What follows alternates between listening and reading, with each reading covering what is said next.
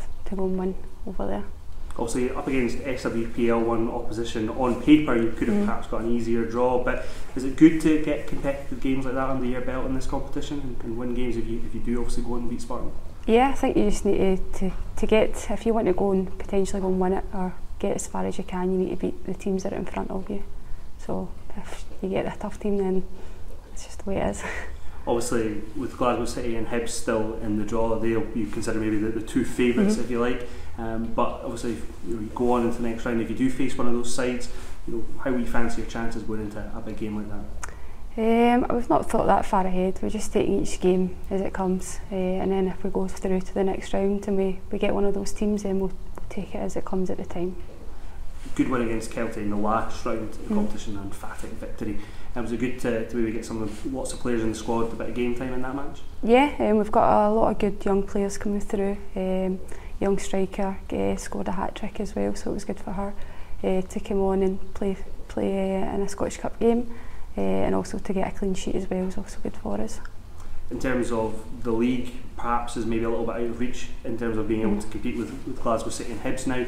Does it mean that you can maybe focus your attention perhaps on the Scottish Cup and, and try and go on and win this? Uh, of course we, we want to go as far as we can in the Scottish Cup but we also want to do as well as we can in the league um, so we just every game we want to try and win um, and hopefully we can do that. and obviously the summer break, maybe a few changes with, with Celtic. I mean, coming into the, the final third of the season, how mm-hmm. confident are you as, as a squad? Um, I think we, we've always been quite confident as a squad. It's just not obviously paid off in every game.